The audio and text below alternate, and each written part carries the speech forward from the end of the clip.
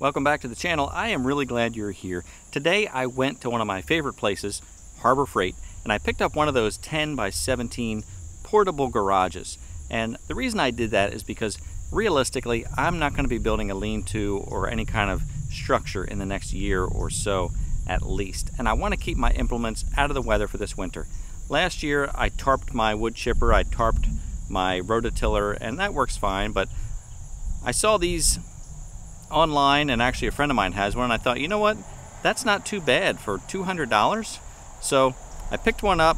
I'm going to erect it right here behind me. So we'll see how it goes. So stick around. Welcome to my cluttered garage. You know I'm really glad you're here. Yeah. Now I have never put one of these things together before, but I watched some videos online. I think they say you can do it in about an hour. Uh, that seems a little bit ambitious, but we'll see how that goes. Um, I picked a spot here behind me. It's relatively flat. I don't have a lot of high and dry and flat areas here. Uh, in the wintertime, things get pretty muddy and pretty wet, and they stay that way until about May or June. So this area should be okay if I don't have to access it a lot throughout the wintertime. And again, I'm going to put the rototiller in there first. That's going to go all the way in the back and obviously I won't use that until next spring so that should be just fine.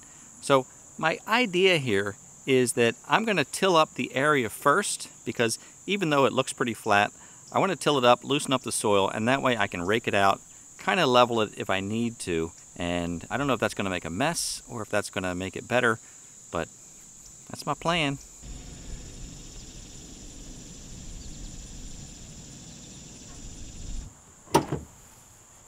So here's my idea for these eight blocks.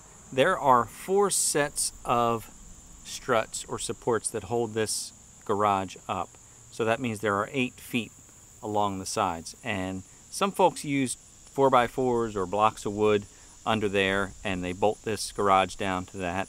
Um, but I was thinking that for the weight of these blocks, that if I can place a block under each one of those feet, and I got some Tapcon screws to put in there.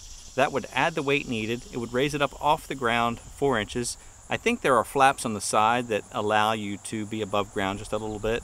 So I don't think it's going to raise it up so that anything will get underneath as far as, you know, a lot of rain or wind or anything. Uh, plus, I plan to take wood chips we, once we start chipping up all those big limbs and spread wood chips inside. And that should make a nice kind of surface bed for the equipment, whatever you want to call it. I've showed you this trick before, but if you don't have a knife to cut these bands, just flip them over and from the back side, pull the, the back of the tab and they pop right off. Every time. One thing to note, this is a very heavy package. So although I'm here by myself, it's probably recommended to have two people to assemble this. I mean, two is always better than one, but I'm here by myself, so I'm going to do it by myself. Okay. Close enough.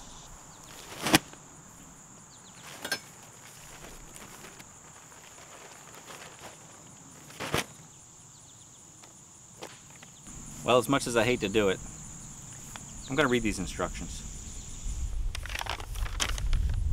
Send bill to Big Enos Burdette. B B E R B U R. Burdette. B B E R B U R. B.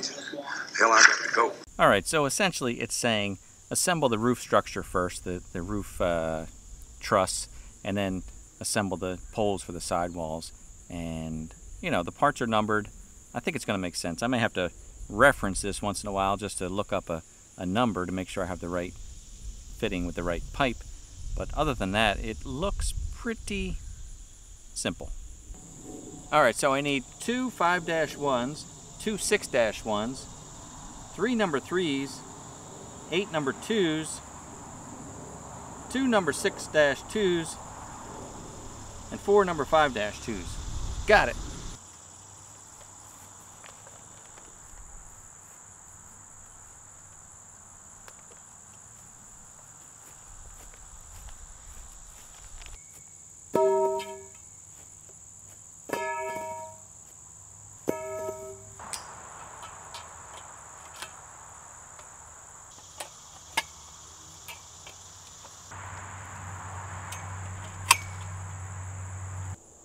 Well, would you look at that? We are off to a great start. There's the peak of the roof.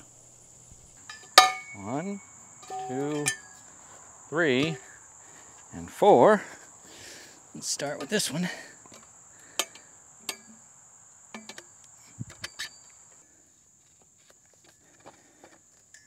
Where's the camera? The instructions do say that you may need a rubber mallet, not included. And it looks as though I'm gonna need a rubber mallet. Well, look what I found.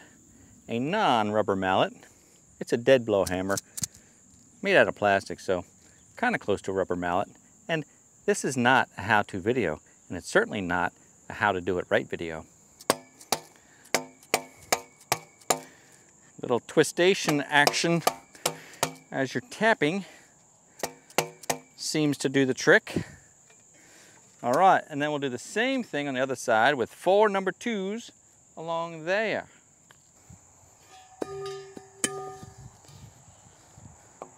All these pieces have little plastic end caps, which is pretty nice to protect these things. I mean, they're being shipped all the way from China, I'm sure. Come on, come on. Twisting. There we go. No mallet needed for that one. All right. Just work my way down. One dash one in the middle. Maybe I should skip one. I think I should skip one.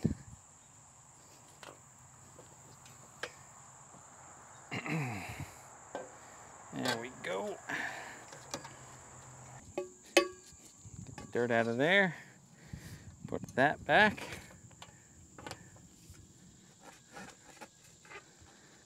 What is with this butterfly? You trying to make me feel better, little butterfly? Trying to make me happy? Well, it's working, so cut it out. Okay, now there is some nutting and bolting that you're going to have to do here.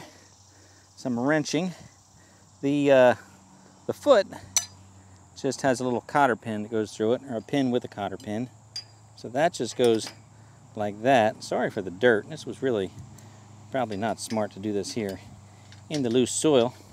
But we stick that pin in there, and then on the other side, just gets a little cotter pin.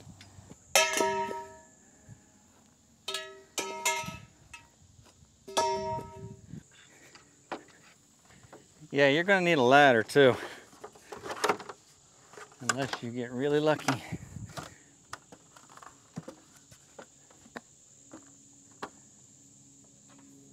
Oh, come on. What the heck?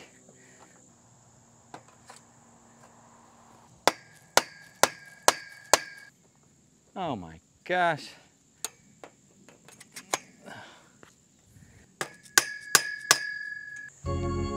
Just like that, we are assembled. Friends, we have assembled here today at Portable Garage. I think the one thing that would make this project go easier would be if you really leveled out the area first. And you should assemble it right where you want it to be. I made the mistake of assembling it off to the side thinking I could drag it into place.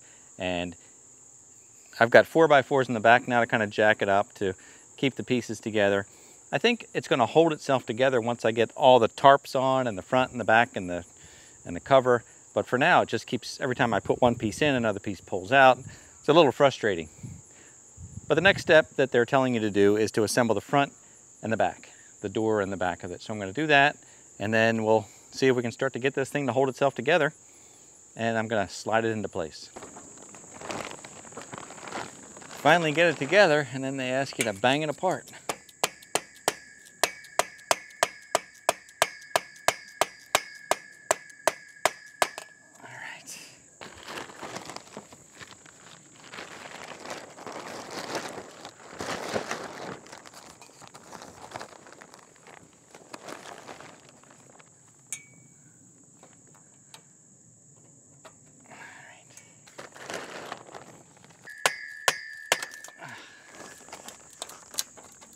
together again.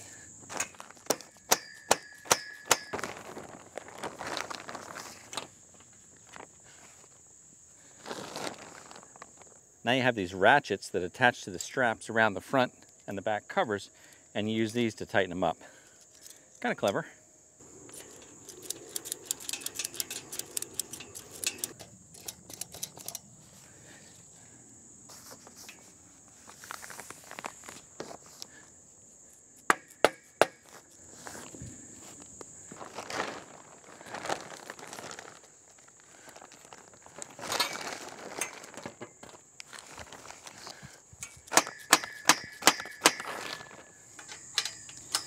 Am removing these bolts that I put in earlier because I did not follow directions properly and these number four poles actually get slid through the tarp and added afterwards.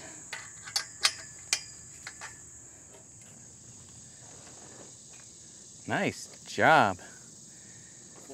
Should have been a cowboy. Well, when your son comes to visit, you get an extra hand.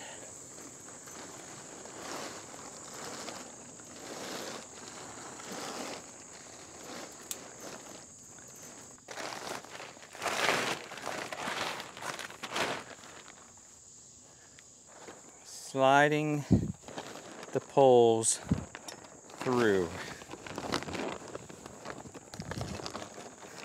There it goes.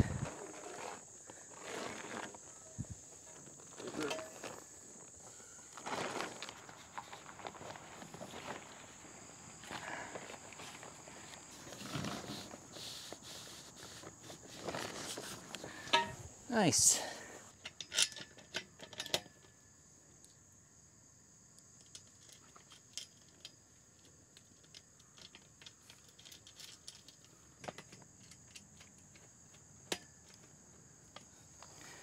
Is actually a pretty smart design because these are adjustable so you can pull it down to tighten up the tarp. Now the sides are held in place with the same ratchet strap design.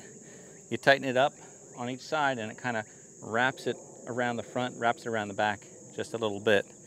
And I gotta say, if I were an impatient man, I would have quit a long time ago and said this thing is a piece of junk. It kept falling apart while I was trying to put it together.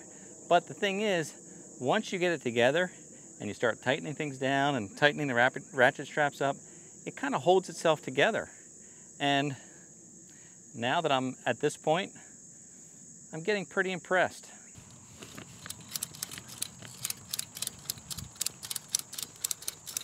Oh, hi, Hotch. How are you? Where you been? You feel cool. You must have come in from inside or come out from inside. I missed you. Oh, hi, Soph. I missed you too. Good to see you. Good to see you, Soph. Good to see you. Okay, can I have that ratchet strap behind you, please? Thank you. Right behind you. Thank you.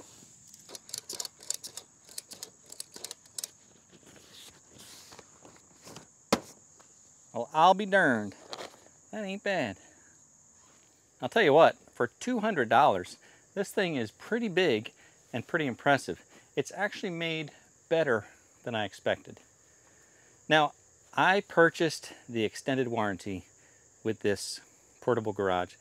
I'm not usually a fan of extended warranties. I kind of think they're a little bit scammy, and rightfully. I mean, they're they're intended so that so that you don't use them, or the intention of the of the retailer is that you're probably not going to need that extended warranty, which is why they can sell it to you and make money with it.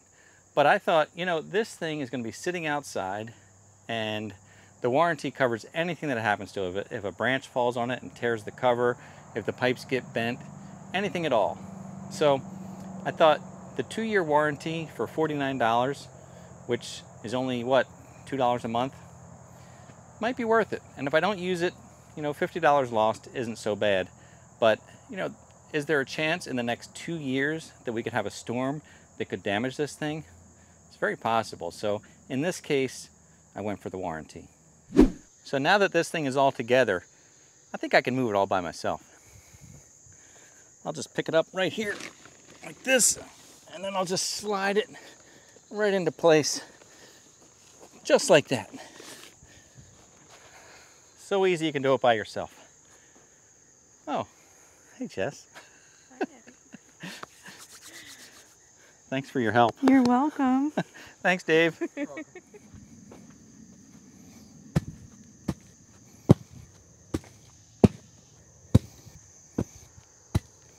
So for the corners, I have these two hole inch and a quarter straps. I'll place those on there, drill some holes, run some Tapcon screws in there, and that should hold it very nicely.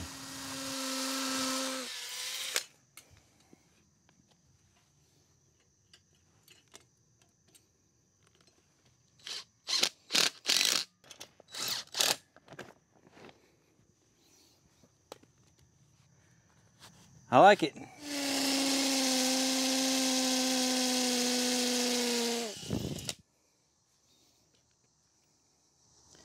Little washer action on that one.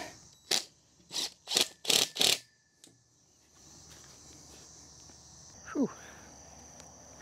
Well, I am losing daylight and losing energy, but I'm going to go around and finish screwing in all those blocks. And the next step is going to be to bring in some wood chips once I have some wood chips and just line that floor with wood chips so it's not just dirt. Anyway, I really am impressed with this little portable garage. I really felt like it was not very good quality when I started putting it together, but once you get all the pieces in place um, and once you understand the directions fully, I, I, I swear I could put the next one up probably in an hour or less. But this has been several hours, not to mention recording it, but um, I didn't really thoroughly understand the directions when I started. I thought it would kind of make sense as I went along.